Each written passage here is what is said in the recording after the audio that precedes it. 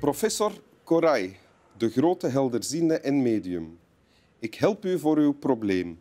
Terugkeer van uw geliefde, examens, succes in zaken, trouw aan partner, impotentie. Bescherming tegen gevaar, vijanden, infectieziekten. Snel en 100% resultaat gegarandeerd binnen één week. Telefoon 0468 65 81 81. Voilà. Jij zei impotentie en je keek echt zo naar mij, ostentatief. Ja, ja waarom het was viel dat? mij op, ook op toen het gebeurde. Ik dacht, waarom doe ik dat niet? Waarschijnlijk Ik vroeg het mij er- ook Er af. zal wel een reden zijn, al ken ik ze zelf nog niet. Welkom in alle geval aan Memmes in. Winteruur. Ehm, we kennen jou natuurlijk als gastvrouw, presentatrice van, op eh, radio en tv. Op dit moment op tv. Mhm. Voor The Voice. Eh, leuk, denk ik. Hè? Ja, heel leuk.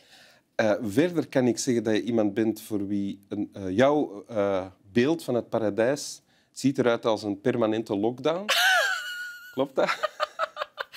Ja, Jij vindt de lockdown niet zo erg, hè? ik vind dat lockdown niet zo erg. Nee, voor mij persoonlijk. Nee. Nee. Want dan heb je tijd om Dan te... heb ik rust en dan, dan heb ik geen verplichtingen en dan hoef ik eigenlijk niemand te zien. Nee, En dan kan ik mij concentreren op mijn eigen kleine nestje en dat vind ik wel eens heel plezant. ja.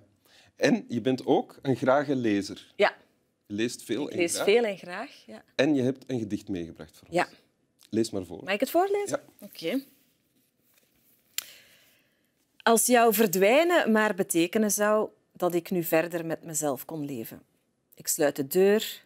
Waar waren we gebleven? Ik gooi wat blokken in het vuur tegen de kou. Een boek van Chaucer ligt nog op de bladzij open van voor je binnenkwam.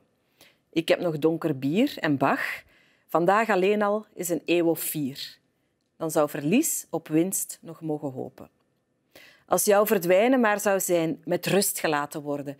Ga dan, geef mij dan die rust. Laat mij gelaten worden, laat mij niet meer horen. Hoe ik, wie ik, in donkere dagen en in blanke nachten op niets en niemand ligt te wachten, jou kwijt zijnde, mezelf verloren. Nu ik het lees, denk ik, oh, lockdown. Ja, Een beetje, hè? ja, ja. Mooi, mooi eh, met veel passie voorgelezen. Ja, dank je Ja, wel. dank u daarvoor. Presentatrice, hè? En het staat in een verzamelbundel van gedichten van Herman de Koning. Ja. Herman de Koning heeft... eh, want het is eigenlijk een gedicht van Edna St. Vincent Millay. En Herman de Koning heeft haar... Edna St. Vincent Millay. Ja, Edna St. Vincent Millay. Ehm, hoe ik het vernomen heb, is dat Herman de Koning eh, een van haar sonnetten heeft ontdekt en gelezen had.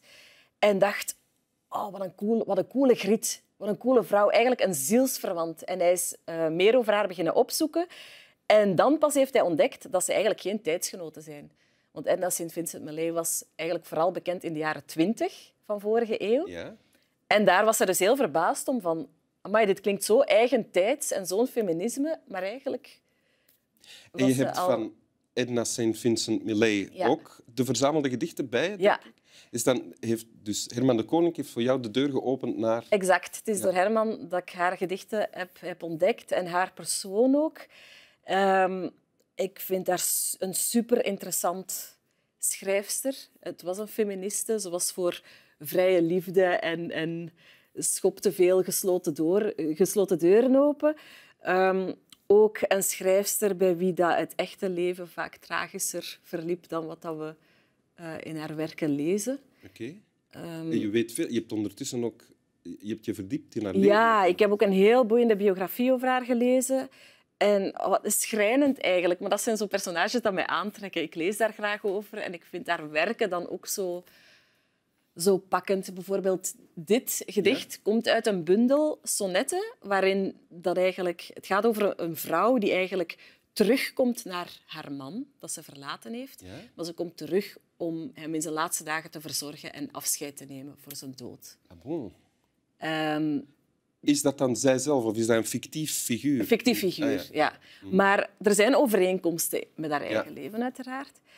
Maar ik vind dat zo En- maar in- pakkend. Ja, maar in, want in dit gedicht dat je, dat je hebt gekozen, is iemand aan het woord die heel veel moeite heeft met, eh, het- met afscheid nemen Ja. van iemand. En eigenlijk ook verlangt naar het afscheid nemen. Ah. Van, Waar Laat het hier gedaan zijn, dat ik verder kan met mijn leven, dat dit hier stopt, dat ik dat hoofdstuk of dat boek kan toeslaan, dat ik eigenlijk verder kan met mijn leven, maar dan beseft van, ja, maar ja, je kunt dan nooit echt afsluiten, want je draagt dat stukje ook wel mee.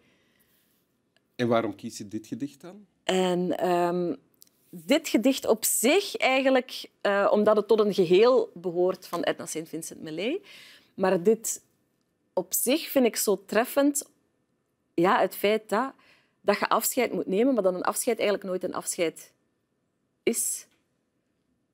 Dat het nooit lukt om helemaal iemand los te laten, bedoel je? Je draagt altijd iets, iets mee, of het nu is na, na een relatiebreuk of na een overlijden of na iemand uit het oog verliezen. Je draagt altijd een stukje mee van die persoon. Ja, maar degene die hier aan het woord is, die wordt gekweld door het feit dat die, aanwe die aanwezige, Ja. van die afwezige aanwezige, er altijd is. Ja. ja. ja. En herken je dat? En goh, nu niet per se, maar wel, het, wel dat je nooit echt iets afsluit. Dat je altijd wel iets meedraagt. En dat vind ik ook het mooie in het leven. Hè? Dat, dat, of het nu goede of slechte ervaringen zijn, die vormen je wel tot wat dat je bent en die begeleiden je verder op je weg, waardoor dat toekomstige beslissingen daardoor wel beïnvloed worden. Ah ja. In het positieve of negatieve. Hè? ja.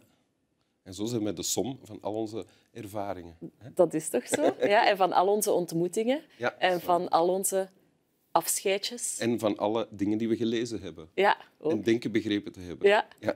Wil je het nog eens lezen? Ik zal het nog eens lezen. Als jouw verdwijnen maar betekenen zou dat ik nu verder met mezelf kon leven. Ik sluit de deur. Waar waren we gebleven? Ik gooi wat blokken in het vuur tegen de kou.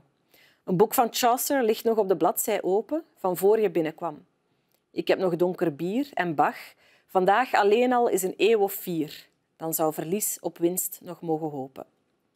Als jouw verdwijnen maar zou zijn, met rust gelaten worden. Ga dan, geef mij dan die rust. Laat mij gelaten worden, laat mij niet meer horen. Hoe ik, wie ik, in donkere dagen en in blanke nachten op niets en niemand ligt te wachten, jou kwijt zijnde, mezelf verloren. Ha, ha, ha. hè? Als het dan, als het dan zover is. Ja. Kun je zeggen ha, ha, ha. Good riddance. Ja. Dank je wel, Anne Lemmens. Dank je wel, Wim. Slaap wel, mensjes thuis.